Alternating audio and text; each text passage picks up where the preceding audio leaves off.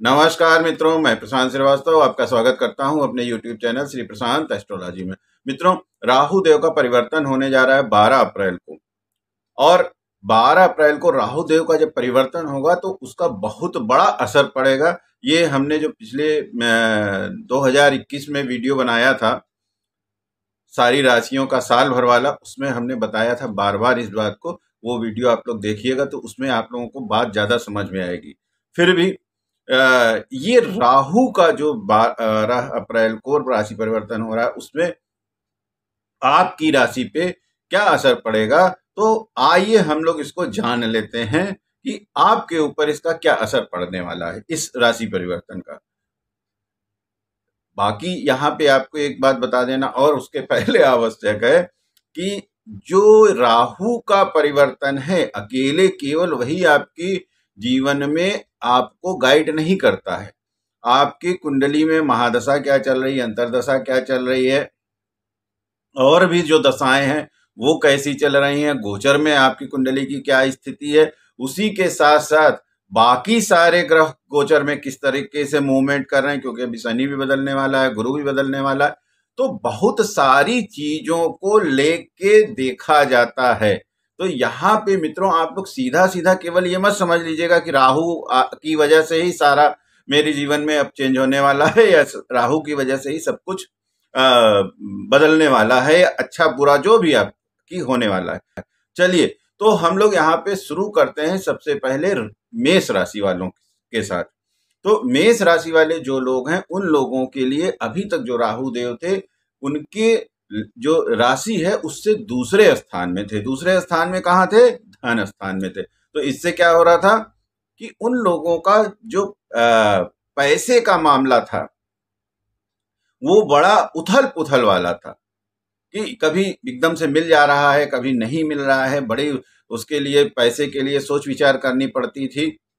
करनी पड़ती थी नहीं, अभी भी करनी पड़ रही है। बारह तारीख से बदलेगा राहु तो बहुत सारे उनको कैलकुलेशंस करनी पड़ती थी पैसे के लिए। ये सारी जो चीज़ें हैं पिछले डेढ़ साल से राहु की वजह से आपके जीवन में आ रही थी। इसी के साथ साथ, मित्रों घर परिवार में भी और इसी के साथ साथ आपको थोड़ा सा एक, जो भी आप जिस भी रिलीजन के हों तो वहाँ पे क्या होता था कि आप थोड़ा सा अपने धर्म से अपने अस्तित्व से, अस्तित्व का मतलब ये होता है कि अपने आप से भी आपको थोड़ी सी ये हो रही थी कि यार मतलब पता नहीं ठीक होगा या नहीं होगा। मतलब कभी कभी बड़ी झुझलाहट जिसको कहते हैं, बड़ी अपने आप से गुस्सा होना, इस तरह की जो चीज़ें हैं, या अपने आप में विश्वास खत्म हो जाना ये सारी जो चीज़ें हैं आपको हो रही थी। इसी के साथ साथ मित्रों, आपको इस दौरान जब राहु की ये स्थिति थी तो बहुत ज़्यादा इधर उधर भाग दौड़ का भी मामला बनता था कि उसके लिए भी कहीं आना जाना या घर में भी अगर जा रहे हैं तो कुछ आपको सुकून, शांति वाली जो चीज़ें थी वो नहीं हो पा रही थी। तो ये सारी जो चीज़ें हो रही थी, हम आपको पिछले साल का भी इसलिए बता देते हैं थोड़ा सा जिससे कि इस साल का आपको जज करने में आसानी हो कि आपकी राशि कौन सी है। फिर भी तो अभी क्या है कि राहु देव अब आपके लग्न में आ रहे हैं। तो जब राहु देव मेष राशि वालों के लग्न में आ जाएँगे तो उससे क्या होगा? कि अब आपको जो पैसे के लिए जो दिक्कत थी जो पैसे के लिए आपके ए, सोच विचार था उसमें तो कमी आ जाएगी। जो आ, लेकिन ये जो मेष राशि होती है वो मंगल की राशि होती है। और मेष राशि में जब राहु देव आ जाते हैं तो मंगल जो होता है उग्र प्रकृति का ग्रह होता है। तो इसलिए क्या है कि अब राहु आ जाएँगे जब मेष राशि में तो हमने पुराने वीडियो में बताया है सब। तो उससे क्या होगा कि जो मेष राशि वाले हैं, वो बहुत ज़्यादा अंदर से उदलित हो जाएँगे।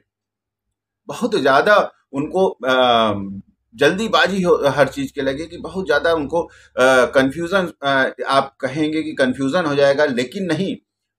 बहुत ज़्यादा वो कैलकुलेशन में चले जाएँगे, उधेड़बुन करेंगे, क्या करें, क्या ना करें कैरियर को लेके, जीवन को लेके, परिवार को लेके, संपत्ति को लेके, सारी चीज़ों में।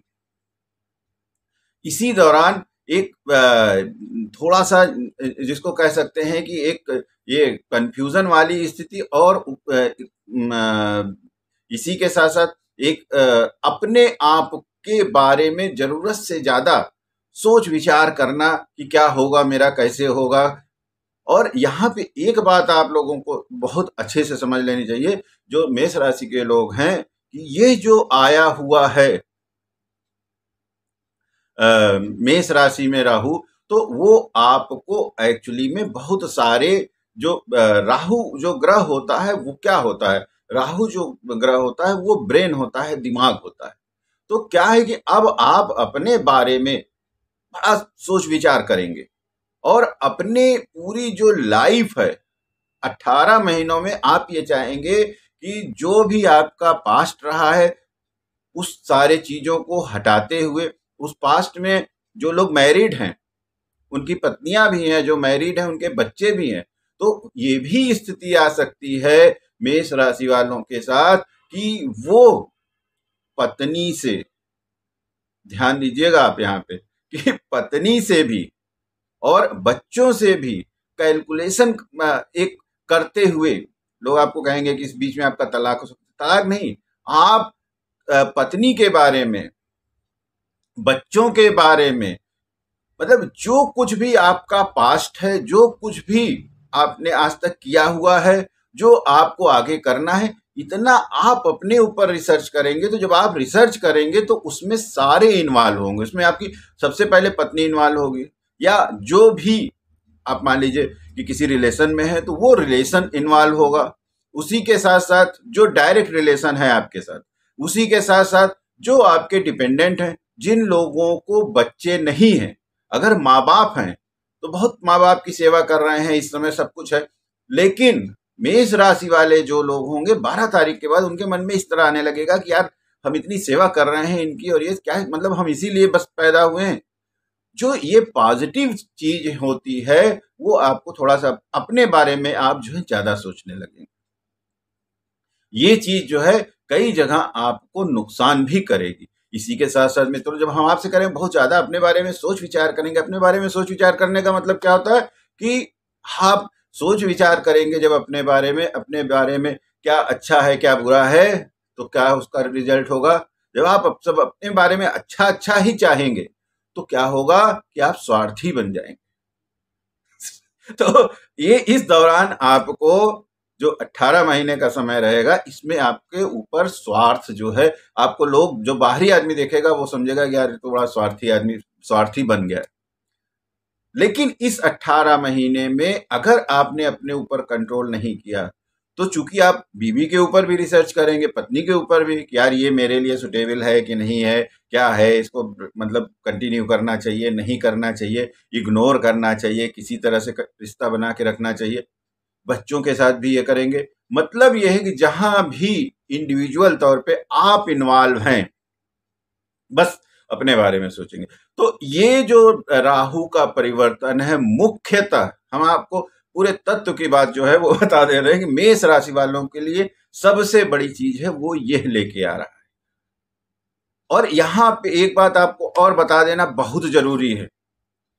आप लोगों को लगता है कि ये सब बताते हैं आपको तरह तरह से सब लोग, लेकिन इस पीरियड में जो भी व्यक्ति मेष राशि का अगर थोड़ा बुद्धिमानी से काम करेगा, थोड़ी बुद्धिमानी दिखाएगा चीज़ों को रिसर्च करते समय, जब वो अपने लाइफ पे रिसर्च कर रहा होगा और इस समय वो अपनी लाइफ पे रिसर्च ही करेगा, अठारह महीने तक, कि किस तरीके से हमने क्या गलतियाँ की हैं, क्या हमको अब सही करना चाहिए, सारा कुछ, जैसे हमने आपको बताया।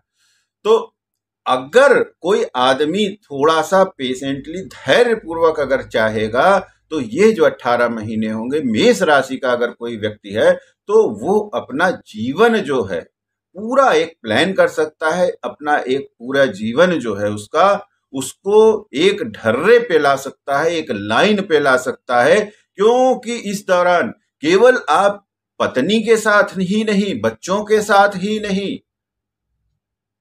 यहाँ तक कि आपका जो जन्मदाता है, जन्मदाता का मतलब ईश्वर, उसको भी, उसके ऊपर भी आप रिसर्च करेंगे कि ये भगवान ने हमको ऐसे पैदा किया तो क्यों किया, क्या नहीं, हम यहाँ पैदा हुए तो क्या हुआ, हमारा क्या पाप था, वो भी आप रिसर्च करेंगे, उनके ऊपर भी। आपसे जो भी लोग रिलेटेड हैं, जो डायरेक्ट रिलेटेड हैं, यहाँ तक कि आपका अगर कोई बिज़नेस का पार्टनर है, जो आपके बिज़नेस में साथ में है, आप उसके ऊपर भी रिसर्च करेंगे। कि भाई ये यार इसके साथ पार्टनरशिप कंटिन्यू करनी चाहिए, नहीं करनी चाहिए, रखनी चाहिए, नया पार्टनर ढूंढना चाहिए, कुछ थोड़ा सा ज़्यादा पूंजी वाला पार्टनर ढूंढना चाहिए, या जिसकी डिमांड कम हो, ऐसा पार्टनर ढूंढना चाहिए, या ज़्यादा मेहनती पार्टनर हमको अब ढूंढ लेना चाहिए तो आप अपने पार्टनर के ऊपर भी इस समय रिसर्च करेंगे। तो इन सब रिसर्चों का दो तरह का रिज़ल्ट आएगा। अब हम आपको, ये तो ज्योतिष की बात थी, अब थोड़ा सा उसको हम आपको साइंटिफिक और जो प्रैक्टिकल अप्रोच होता है उसको जोड़ के बता देते हैं, समझ लीजिए जल्दी से। तो जब आप इतना रिसर्च करेंगे, और डिसीज़न आपको लेना है, बात मेरी समझ लीजिएगा, ज्योतिष क्या होती है तो उसमें दो चीज़ें होंगी। दो चीज़ें होंगी। ये एक, क्या होगा कि जिन लोगों की कुंडली में दशाएँ, महादशाएँ अच्छी चल रही हैं जो लोग थोड़ा पेशेंटली कूलली ठंडे दिमाग से डिसीज़न लेंगे तो वो तो सारी चीज़ों को अपने इस पीरियड में सेटल डाउन कर लेंगे। लेकिन जो लोग जिनकी दशाएँ अच्छी नहीं चल रही हैं, या कुछ बुरी, बुरा जिनका टाइम चल रहा है, उन लोग क्या करेंगे? वो जो अपनी रिसर्च करेंगे, उसका फ्रस्ट्रेशन जो है, फिर वो अपने पत्नी पे निकालेंगे। नहीं नहीं जो जिनका अच्छा समय चल रहा है तो वो ये देखेगा कि हाँ यार, इस पत्नी की वजह से बड़ी दिक्कत है, बड़ा मेरा जो लाइफ है, बड़ी पीछे चलती जा रही है। तो वो उसको प्रेम पूर्वक उस मैटर को कहीं सेटल करेगा। लेकिन जिनका खराब समय चल रहा है कुंडली में, दूसरे ग्रह जो खराब है, महादशा खराब है, अंतरदशा खराब चल, वो लोग उसी चीज़ को रिज़ल्ट एक ही आ रहा है। बात आप समझिएगा, मेष राशि भी है रिज़ल्ट भी एक आ रहा है कि आपको लग रहा है कि नहीं, आपकी पत्नी जो है, मामला पत्नी से सही नहीं है। इसकी वजह से बड़ा पीछे होते जा रहे हैं। या जो भी आपने उसके ऊपर रिसर्च किया। तो जो रिज़ल्ट होगा, दो तरह होगा। जिसकी अच्छी महादशा चल रही प्रेम पूर्वक उस मैटर को सेटल करेगा। या आपका माँ बाप के साथ, जैसे हमने बताया तो उसको आप एक आदमी होगा, नहीं नहीं, ठीक है, चलो भाई माँ बाप है, इनका करना है, और प्रेम से उस मैटर को सेटल करेगा नहीं, इनको भी देखना, अपने आप को भी देखना, अपना भी करियर देखना, अपना भी भविष्य देखना। तो वहाँ पे ही जो है, रिज़ल्ट सबका एक आने वाला है। लेकिन जो एक्शन होगा आपका, वो इस प्रकार से होगा कि आपकी महादशा क्या चल रही है। मेरी बात को आप समझिएगा। आपकी अंतरदशा क्या चल रही है? आपके गोचर में ग्रह की क्या स्थिति है? बाकी सब ग्रहों की। तो अगर वो पॉजिटिव है तो रिज़ल्ट एक ही आ रहा है। लेकिन डिसीज़न आप दो तरह से लेंगे कि दूसरा वाला जो व्यक्ति होगा वो ऐसा कर सकता है अपने पार्टनर के साथ मारपीट कर ले झगड़ा कर ले। दूसरा जो होगा जिसका अच्छा समय होगा वो प्यार से नहीं नहीं ठीक है यार चलिए हम लोग जो है देखते हैं और फिर कोई किसी दूसरे को इंट्रोड्यूस कर ले। तो रिज़ल्ट जो है अलग अलग होगा लेकिन जो इसका आ, आ, फल होगा वो एक ही होगा। तो मेष राशि वालों के लिए बेसिकली ये जो अट्ठारह महीने का पीरियड होगा, एक तरीके से अगर आपको हम बताएँ तो बहुत अच्छा होगा। और अगर उसी चीज़ को आप समझ लीजिए कि एक तरीके से आप सोचिए तो गड़बड़ भी हो सकता है। जिसमें कि आप फ्रस्ट्रेट होके, जब आप अपने बारे में सोचेंगे, थोड़ा सा वीडियो बढ़ जाता है, फिर भी मैं आपको बता देते जब अपने बारे में आप सोचेंगे तो हो सकता है कुछ लोग उस फ्रस्ट्रेशन में कुछ गलत निर्णय भी ले लें। कि नहीं यार, ये ये जीवन नहीं है, बेकार है सब इतना सब किया, धरा सब बेकार है छोड़ो। तो वो इस केस में बहुत सारे लोग ऐसे भी होंगे जो कुछ गलत निर्णय लेंगे। हमने आपको क्या बताया कि मेष राशि के जितने लोग होंगे, उनका सारे लोगों का होगा तो फल एक ही।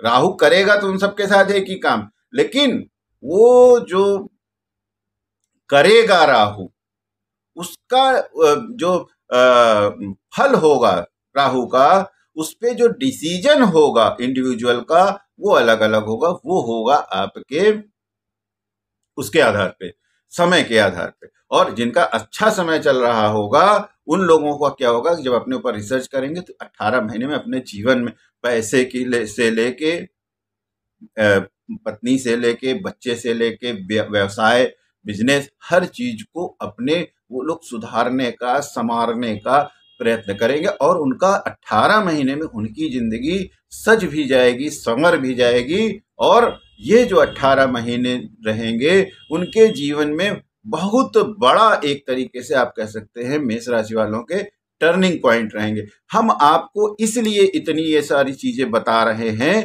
कि आपको यह पता हो कि होना यही है सबके साथ, जितने मेष राशि वाले हैं।